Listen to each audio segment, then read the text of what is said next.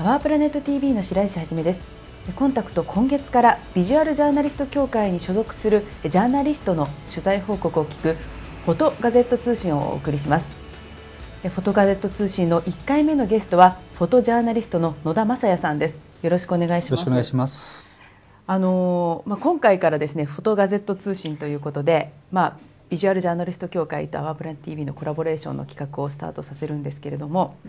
まず野田さんのご紹介に入る前に、はい、このフォトガゼット通信という、まあ、フォトガゼットというタイトルなんですけど、はい、これはまあどういった意味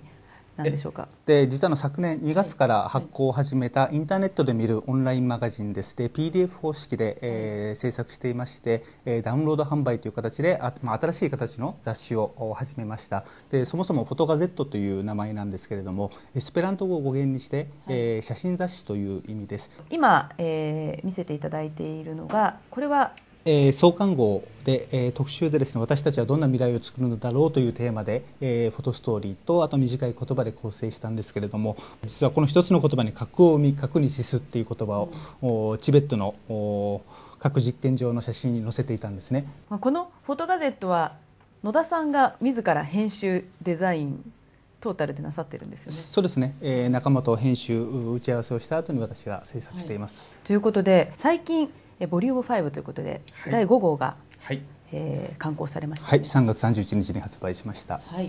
ということで、まあ、これまでは1年を通して皆さん、まあ、あの国内の取材を多くされているんですけれども実は今日はですね あの野田さんには今あの大変全国的に関心が高まっている実は被災地のその瓦礫の問題をお聞きしたいと。野田さん今回あの今ブログですとかえー、写真報告会とか瓦礫の問題をお話しされてるんですけれどもなぜまたこの瓦礫の問題というのに着目してあの取材されてるんでしょうか？まあ、震災直後、まあ、それから3か月4か月というものはですね地元の小さな業者たちが本当に自分たちの手でもしくはそのボランティアの人に協力してもらってコツコツと瓦礫を撤去していたわけです。でその姿を見てえ途方もない量だし、えー、これは10年間かかるんじゃないかというふうに危惧していました、まあ、しかしまあそれで、えー、10月になると国家予算がついてですね第3次補正予算予算案で、まあ、3年間で1兆円という予算がつきます。1兆円大きい金額ですよね、はい、でそれが当然ながら私は地元の業者の人たちを中中心に瓦礫の撤去作業もしくは処分作業を行われていくと思っていたわけですしかしその1兆円をめぐってさまざまな業者もしくは参拝業者大手が、え、被災地に入ってきてつまりあの瓦礫の争奪戦のようなその復興ビジネスが始まったんですね。でこえー、そそれを知ったことでやはりこの瓦礫問題に注目したという状況です。なるほど、まあ、とにかくその今1兆円ということで、ね、野田総理がまあ、都道府県知事に対して広域処理のあの依頼といいますかぜひ増してくれということで、えー、お話をされたりということで非常にまあ大きな話になっているんですけれども復興のためには瓦礫の広域処理を受け入れることがやはりこう支援になるということがこう踏み絵のような形でそれをこう受け入れるか受け入れないかということで全国がまあ今揺れてるんですけれども野田さんの目から見て実際この広域処理というのは被災地のためになるのかずばりどういうふうにお考えですか？まずあのこの瓦礫の問題というものをやはり少しあの分けて考えたいと思っているのがその放射能の問題はまた別にしてですねもちろんその問題危険性はたくさん問題もあるわけですけれどもでつまりその広域処理ということで他の県自治体に運ぶ必要があるのかということなんですが、えー、広域処理に回される瓦礫の量っていうのは全体の20%に過ぎないわけです。はい、つまりあの80%は、えー、地元で、えー、処分しなきゃいけないわけですね。うん、えー、何かこれまでの流れを見ているとその20%のはずなのに、えー、他県が受け入れることによってほとんどの瓦礫を私たちがこう処分してあげるというような論調になってしまっているつまりここにあの錯覚が一つ出てきているわけですねつまり最も考えなきゃ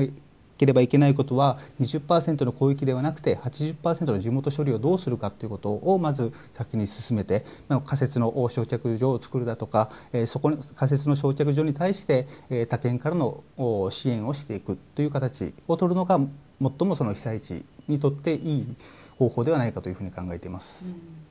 うんあの阪神・淡路大震災の時っていうのはどのように行われてたんですかね？そうですね。えー、阪神・淡路大震災の時は確か、えー、14%の瓦礫が、えー、広域処理、まあ一部のお県へ運ばれましたけれどもそのほとんどがですねやはり地元で処理されたわけですね。はい、で、えー、今回その東日本大震災で出た瓦礫の量というのはその神戸の大震災の時の1.6倍というふうには言われています。その量から考えるとですね、まあ、意外と神戸の1.6倍その規模が今回はかなり大きいですので、えー、多いようには見えますけれども実はその神戸で、えー、処理したというもう実績もあるわけです。しかなぜそれが今回適用されないのかということがやはり疑問に感じますね。あの現状ではですね瓦礫っていうのは被災地でどういう状態にあるんですか？えー、2011年の3月17日岩手県の大槌町で撮影した写真です。大槌町はい、はい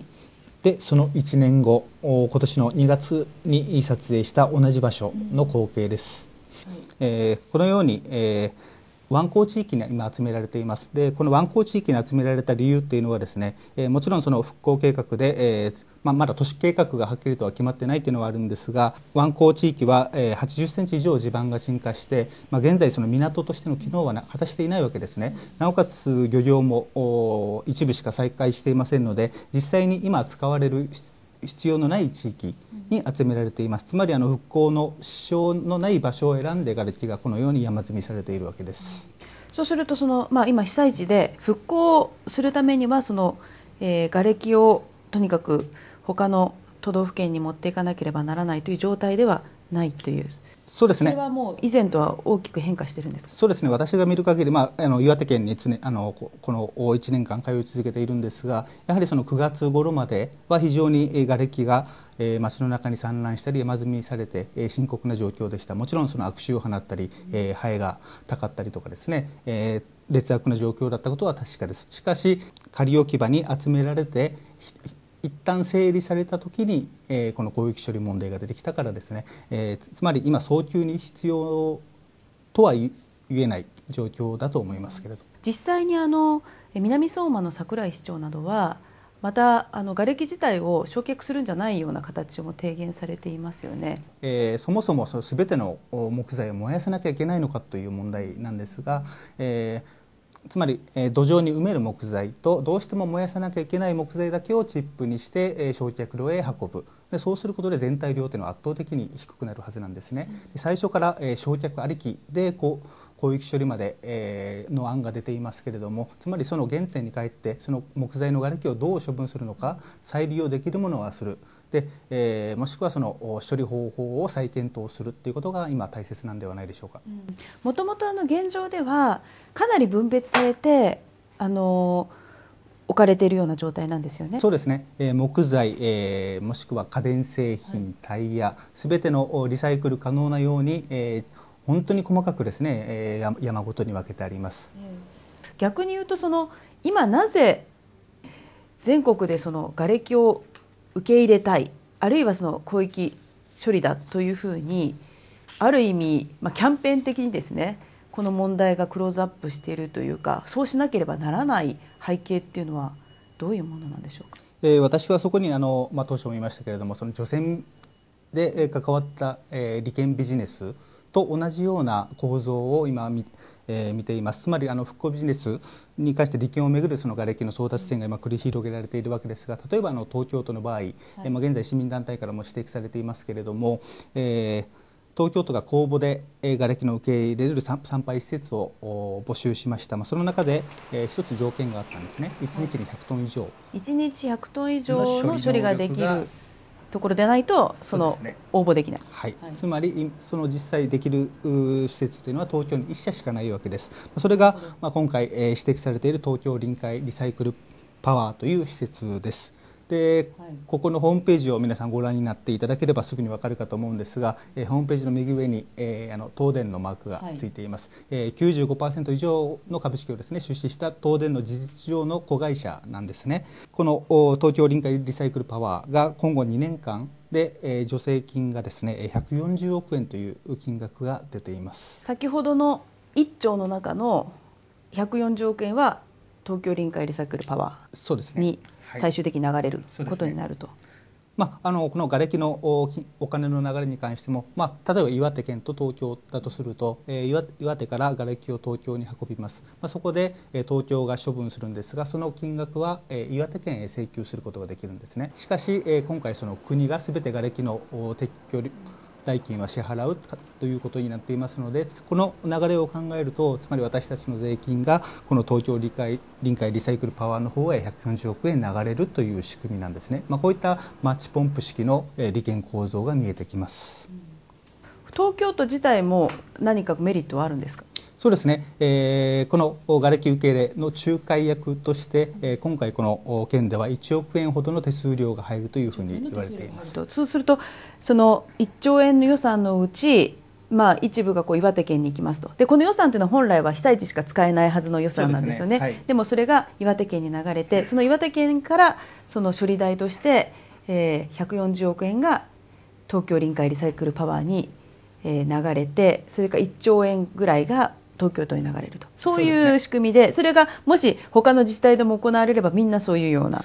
枠組みになる、ね、はい、1億ずつ当然ながら増えていくでしょう。なるほど。これはなんかその PR そのものにもお金が投入されてそうですね、えー、電車のつり革、えー、釣り広告だとかですねテレビコマーシャルもそうですね。で今、えーまあ、この瓦礫を受け入れようというキャンペーンのために10億15億円のお広告費がつつ広告費がついている、はい、これはどこから出てるんですか？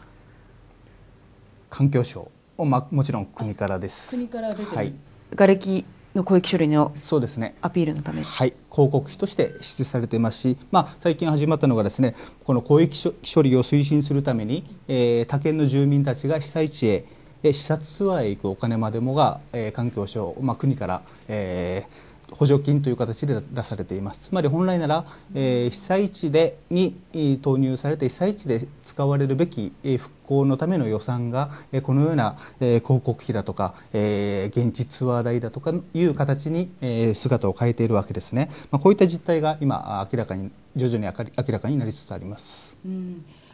あの実際にですね地元のその首長さんの中には例えばその先ほどの南相馬のね櫻井市長だけでなくて例えば陸前高田の、えー、鳥羽市長ですか、はい、とか、あのー、岩手のそれからこれは泉岩泉町の、はい、えー、町長さんなり皆さんその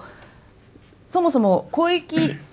の受け入れをしてもらわなくても自分たちでやはりあの処理しますと。それもまあ雇用に結びつきますというふうに言ってるんですけどその声がかき消されてるっていうような現状がそうですね。はい、でもちろんその見方によってはですねこの瓦礫も一つの財産になってえ復興の財源にもなりかねないわけです。もちろんその岩泉の町長は、えー、どうして早く片付けなきゃいけないのかでそもそもの問題は国が3年間でこの瓦礫を処分するという決定したところがに問題がありますつまり3年という枠を決めたのでつまり80%は現地で処理できるけれども20%はどうしても無理だから広域処理に回すという形になったわけですねつまりこれが、えー、岩泉町長が言うようにですね10年20年かけて、えー、ゆっくりと現地で,、えー、処理をしていけばもちろん地元にお金が落ちて雇用も増えていくはずなんです。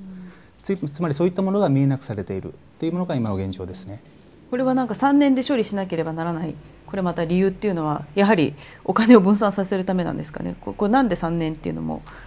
こう、えー、割と早い時期に決まった、ね、そうですね。つまりあの当初から決まっていたと言いましょうか、えー、えー、つまりその先に3年という期間がありきだったんですね。でこの根拠は今のところ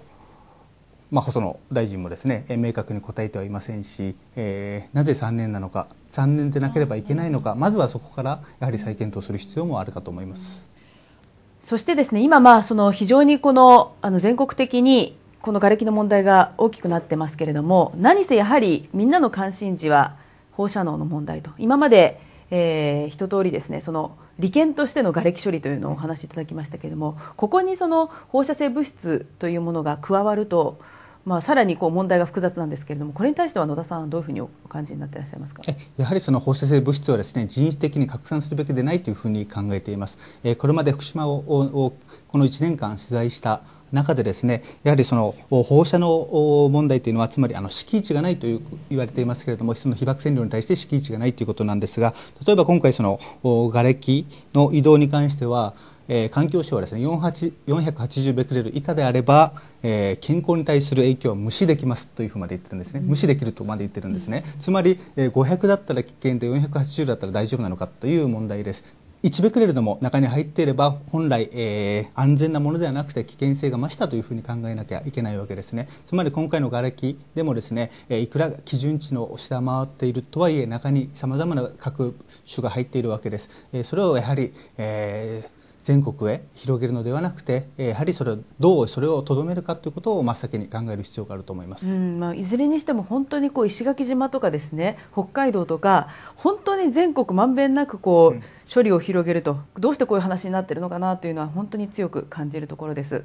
あそれとあと瓦礫はですねやはりその燃やしてはあの放射能性物質を含んだ瓦礫というのは決して燃やしてはいけないんです。最もその拡散する原因というのが焼却なんですねえー、そうなんですね。えそうですね、えー、つまりあの大気に舞ってしまって、うん、えー、せっかく土壌に沈着していたのがやはり、まあ、もう一度拡散してしまうという危険性があります、はい、まあ、それで、えー、燃やすという行為はもちろんその、えー、焼却灰の問題もあります。でその焼却灰をどこに埋めるか濃縮がすごいですよねそうですね。は。い。で私たちもですね、えー除染の過程でですねどれほど放射能が凝縮されるかというのを実際に外学カウンターで測ってきましたけれどもえー、通常の値の約20倍程度に、えー、跳ね上がるところもあるわけですね。そういった、まあ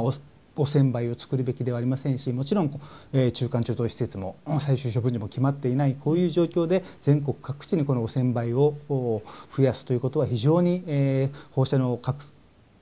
放射能の影響を拡散してしまうことになってしまうだからそれは何としてでもやはりとどめるべきだというふうに考えています。